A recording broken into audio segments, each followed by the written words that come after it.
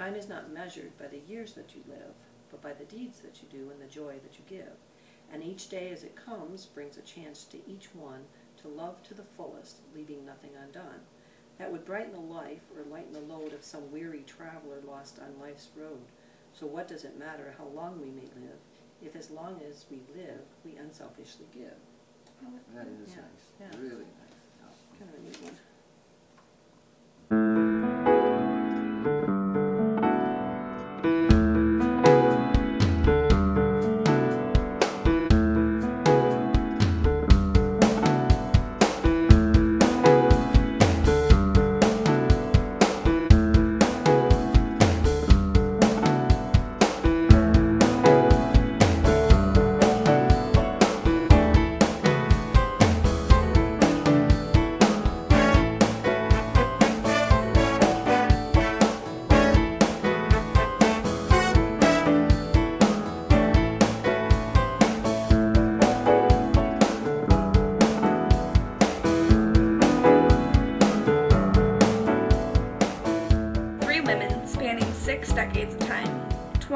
50, and 80.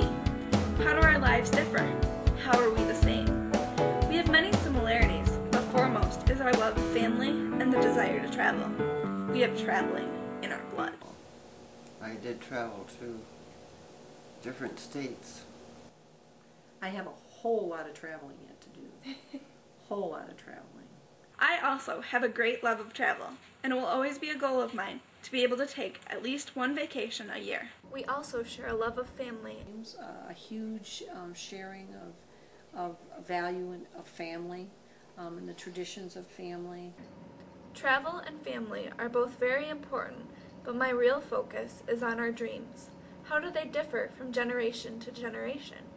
How do our opinions on dreams alter as we grow up? For me, I've always believed that dreams are a very big part of my life. And my early aspiration was to be a doctor who was an astronaut who painted the Mona Lisa in space. Some dreams change. And I had dreamed of being a dancer. And um, had thought about being a nurse, typical women's jobs.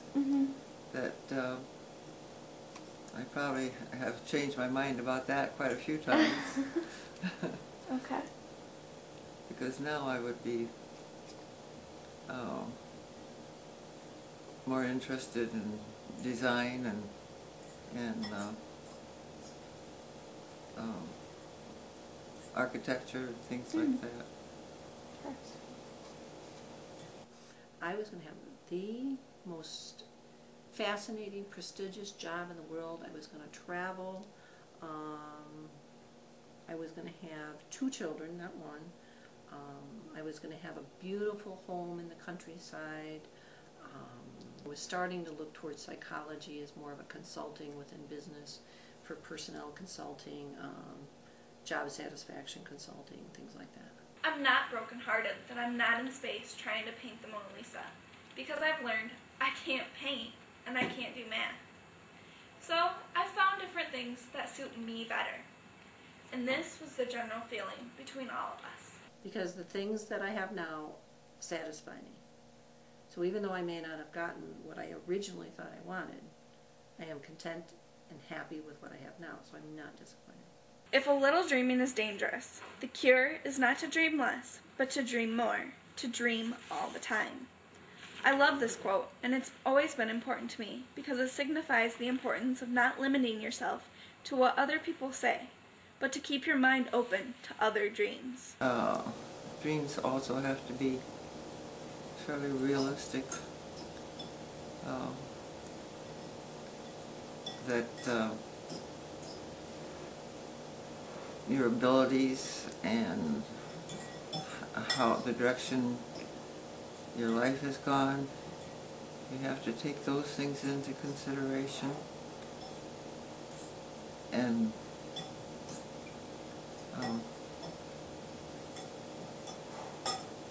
try to uh, broaden your dreams, but to what you can handle.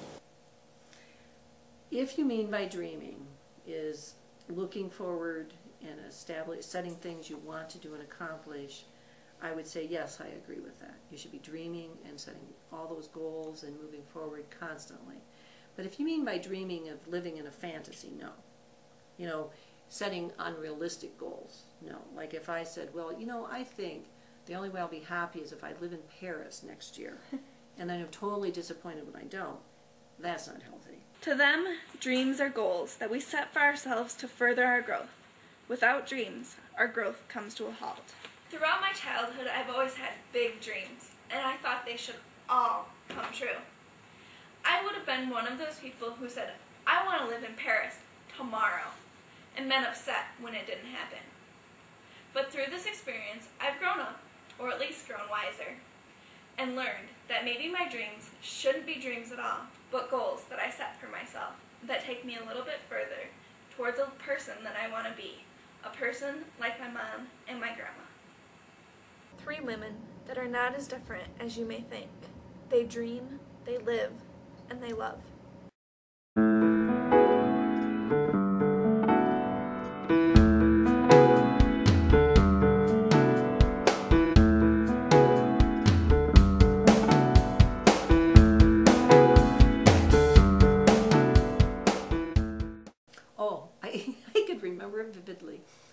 First off, it wasn't when I first knew I was pregnant.